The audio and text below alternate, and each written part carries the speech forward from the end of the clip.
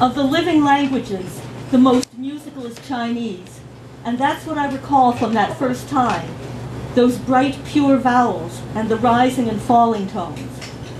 The words are gone from my mind, only the sounds remain.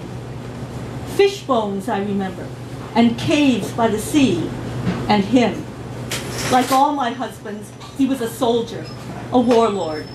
King, they write it in the transcriptions, but he wasn't born to be ruler of his territory. He fought for it, and by the time I came to him, he was middle-aged. In Chinese, even when a woman speaks deferentially, she is loud and clear, not whispering behind a hand and giggling like in Japanese. I doubt I ever knew his name. My lord, I said, and bowed. Wife, he said, smiling to reveal teeth like needles, like fish bones, filed down in his clan's ritual, or perhaps just from age and wear. Wife number one. Wife number two, who had been wife number one, was older than me, and she killed herself soon after. All her children had died young.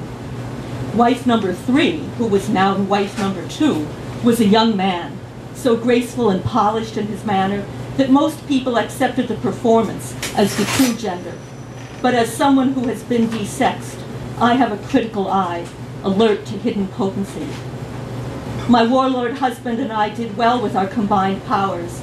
He took my old homeland, the first summer of campaign, and doubled his holdings. Over the next years, his territory tripled, then became vast, a true kingdom. I gave my lord children, a son. Once there was nothing more to gain, we grew lazy, although we lived happily enough. He was always restless. Fighting and acquisition were what he had lived for. Now there was a son to inherit. He took no other women. Sometimes I heard him with wife number two. It was a sim simple wooden palace, more of a stockade or a fort, with small rooms and thin walls. The beautiful man-wife would sing while he strummed the lute.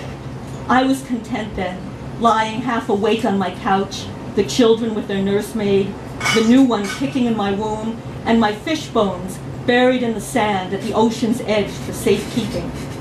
If we ever need them again, I would think, I can dig them up. I have to be an adult before I come into my power.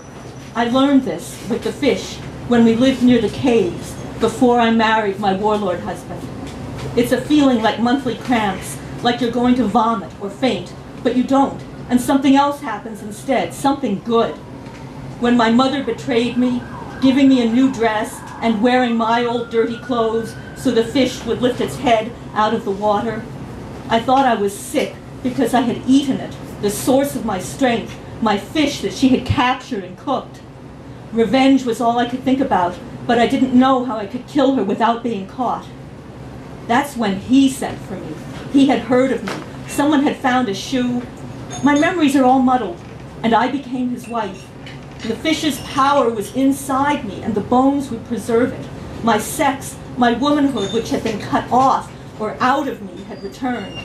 Until I could use it, spend some of its force in a belch of anger or a fart of rage, it roiled my guts in a constant nausea. With my help, my husband and his army could conquer whole cities, not just a few cave dwellers, a wicked stepmother and a mean girl pretty stepsister or two. Or was she really my mother?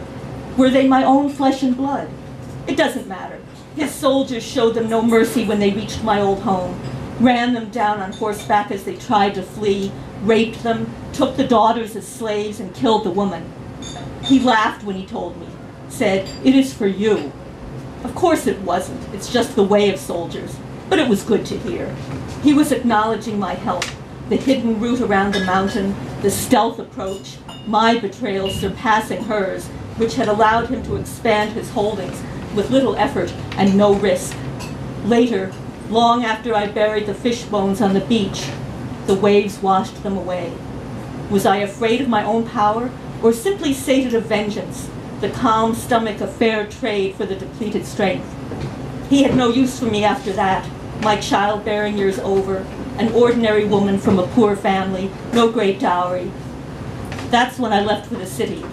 It was the man-wife, older now, but elegant as ever, and with the creased face of happiness, who embraced me at the gate, wishing me an easy journey and good luck. She wasn't sorry to see me go, yet in our marriage there had been affection, even respect between us.